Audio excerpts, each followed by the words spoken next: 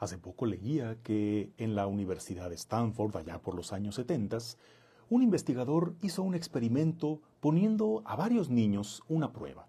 La prueba consistía en que ponía enfrente de ellos una exquisita y apetecible golosina. Y le decía, es tuya, ¿eh? te la puedes comer, pero si cuando regrese en unos minutos no te la has comido, entonces te vas a ganar dos golosinas de estas. Así que pues ahí te la dejo, tú sabrás.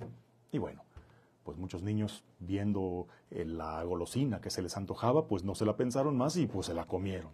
Otros pues como que quisieron aguantarse y pues ahí le estaban toqueteando y pellizcando y pues terminaron comiéndosela. Pero hubo otros que dijeron, no, no, me aguanto porque, porque si me espero voy a tener más. Entonces me aguanto ahorita, me aguanto ahorita. Y bueno, experimento dio como resultado que aquellos niños que supieron retrasar la gratificación, cuando crecieron, supieron tener más inteligencia emocional, pudieron tener mayor nivel de perseverancia para alcanzar metas mejores y, en fin, les fue mucho mejor en la vida por la capacidad de retrasar la recompensa, una recompensa pequeña, efímera, por una recompensa que es mayor.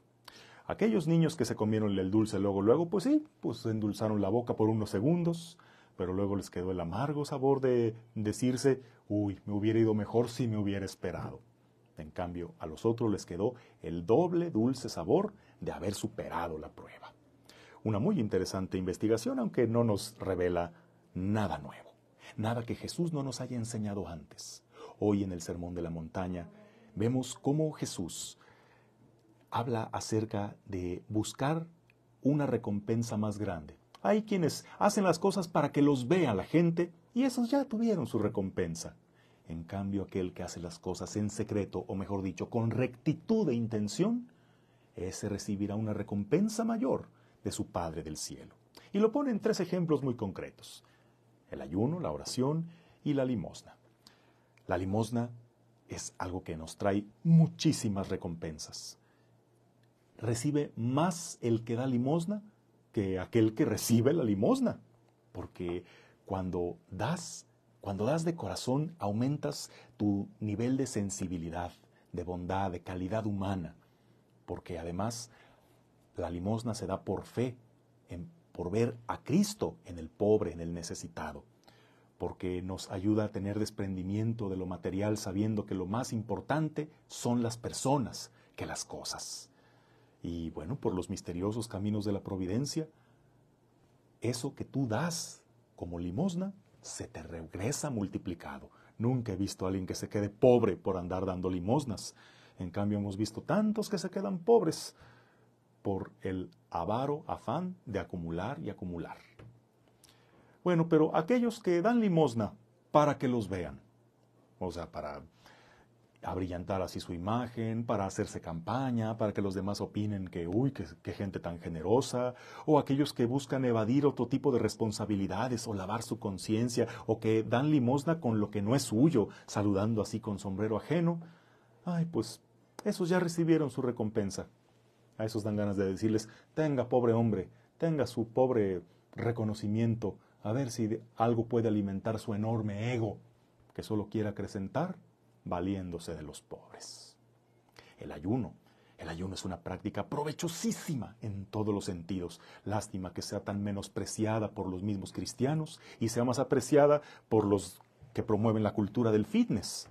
Porque el ayuno es algo que eleva nuestro espíritu, nos desprende de lo material, nos da una gran fuerza de voluntad, nos ayuda a descubrir lo que realmente necesitamos y hasta para la salud tiene tantos beneficios. Lejos de pensar que, por abstenerte por un periodo de comida te vas a descompensar, te vas a desmayar, no, al contrario, descompensado ya estás de todos los excesos que le metes a tu cuerpo. El ayuno te ayuda a compensar y nivelar en su justa medida todo lo que hay en tu organismo. El ayuno ayuda a vencer demonios que no se podrían vencer solamente con buenas intenciones. Hay demonios que solo salen a fuerza de ayuno y oración. Pero, pues como dice Jesús, hay algunos que ayunan solo para que la gente lo note. solo para provocar cierta admiración, aunque sea algo de lástima, y por eso se, ven desmejorados y, y, no pierden la ocasión de decir a todos que están ayunando, ay, para que digan, mira, y este ayuna, mis respetos, o ay, pobrecito, cómo sufre. Ay, pues mire, tenga sus migajas de, lástima y mejor coma algo porque sí se ve muy desmejorado. Si vas a ayunar así, sin rectitud de intención, pues, pues, mejor come. Ahí, ahí está tu reconocimiento, bravo. Qué pobre recompensa buscaste cuando la recompensa de un ayuno bien hecho es mucho mayor. ¿Y qué decir de la oración? La oración sosiega el espíritu, nos alcanza gracias que no podría alcanzar el simple esfuerzo humano, mantiene despierta nuestra conciencia, ayuda al discernimiento de la realidad según la sabiduría de Dios. La oración nos mantiene en sintonía y amistad con el Señor, pero hay quien no busca eso, sino que busca que lo vean. Busca orar para darse importancia, para que la gente piense que son gente piadosa, para darse autoridad a sí mismos, para hacer decir a Dios lo que en realidad no dice. Pues esos pues ya recibieron su recompensa, pero ay, qué recompensa tan más triste. Ya dan ganas de decirle, ya, ya, ya, deja de hacer tu monólogo, ya nadie te está viendo. Deja de fingir que te importa, deja de, de fingir que eres espiritual, porque ojalá que así como oras cuando todo el mundo te ve, ojalá así oraras cuando nadie te está viendo.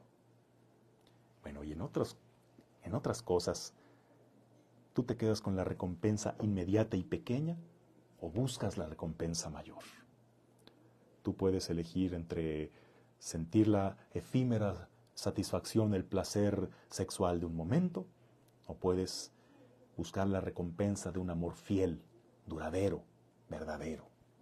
Puedes tener la recompensa de ganarte un dinerito extra con algunos movimientos deshonestos, o puedes construir la confianza, esa que no hay dinero que la pueda comprar, la confianza, la integridad y la buena conciencia. Así que tú decides qué recompensa buscas. Revisa en todos los aspectos de tu vida si ya te quedas con la recompensa menor o eres capaz de buscar aquella que Dios da a quienes hacen las cosas con rectitud de intención.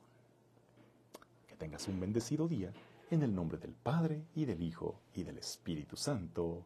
Amén.